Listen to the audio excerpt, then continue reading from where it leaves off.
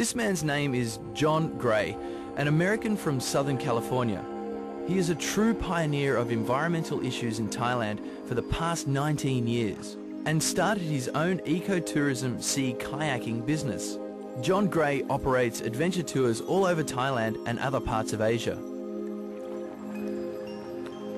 He has produced over 250 media projects, started during his years in California and Hawaii, all promoting and defending the environment. Insisting on dutifully collecting water surface debris before I joined him, John Caveman Gray then took me on a personal tour of his eco wonderland, doing what he loves best, paddling a kayak in Phang Nga Bay to show me its highlights.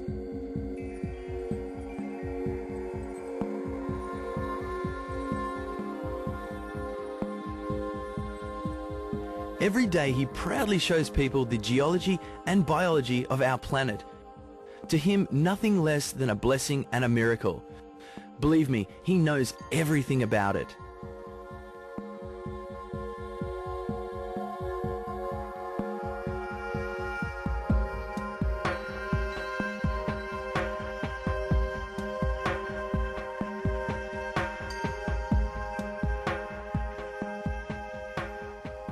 You've got the mar marine biology and, and marine geology coming up there and lapping those rocks, and then you're on terrestrial biology, and you're just, it's just all wrapped there together in one.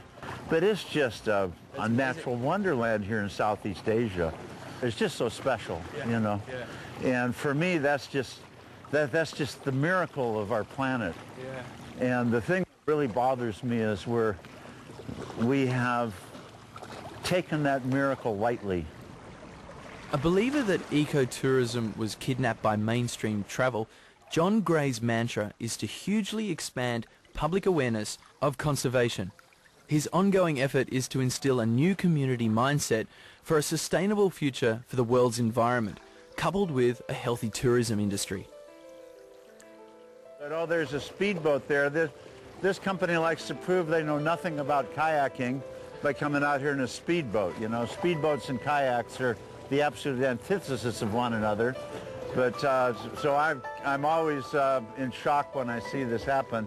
But then here comes another one of, one of these big cattle car boats, right? So we're going to have a pretty good crowd here in a little while. This is called the Tidal Nape. And all these caves are called Tidal Nape Caves because they're formed by the, the tide actually attacking a fault line in the rock and then uh, working its way into the cave and then connecting up with the lagoon that's made by rainwater coming down from above. Here's the cycad up here. These guys, this was dinosaur food, so that's straight out of Jurassic Park up here. you know, then you've got the, the diamond clubs here, and uh, you've also got the, the pandanus over here. Here's some staghorn ferns, you know, so it's, but everything out here is bonsai because limestone doesn't really hold water that well. We're approaching Yeah, sure. There, there- here's one of these tidal nape caves. So why don't we head on inside and see if we can get into the lagoon? This guy's really dramatic. It's the smallest cave of them all. You first, John. Okay, you just follow right on behind me. Okay, Tob?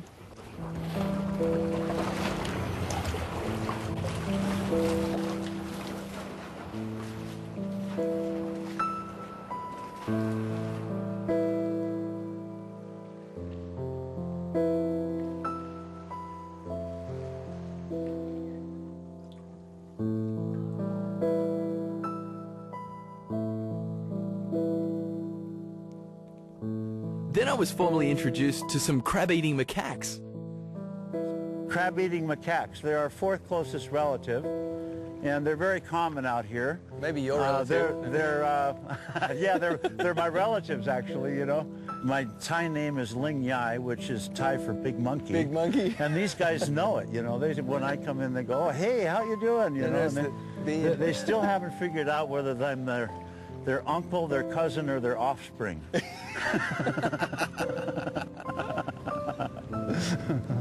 These guys are, are quite adaptable. They're omnivorous. They eat uh, crabs and oysters. They're a tool-using animal. They'll actually break open the oysters and the crabs with the rock. And uh, they also eat the leaves. They do not eat bananas. People feed them bananas all the time. It's a terrible thing to do. You should just let them live their own natural diet. And Uh, did- they're did great guys- swimmers. they They're swim? excellent swimmers. Yeah. Uh, they can dive in the water, swim underwater about 20 meters, and come up where you'd have no idea where they're going to come up, you know. It's also not advisable to get too close because they can jump. Like this guy up here, Yeah. he could probably jump right to there. So I'm not going to get any closer than this. and they're, can do a lot of damage if they get in your kayak. This is the alpha male sitting down here on the bottom. He's in the, Right. he, he's in the patrol position. Yeah, it looks like he's just Now, if you made on that guy angry, he could probably jump from that top branch there out into my kayak. So I'm not going to get too close. If you get an angry macaque in your kayak, you got about 100 stitches. An Yeah. angry macaque in the kayak. it's not the well, way to it, sounds interesting, but it's not fun. No. He can swim better than you can. He can bite better than you Yeah. can. And he can climb better than you can. So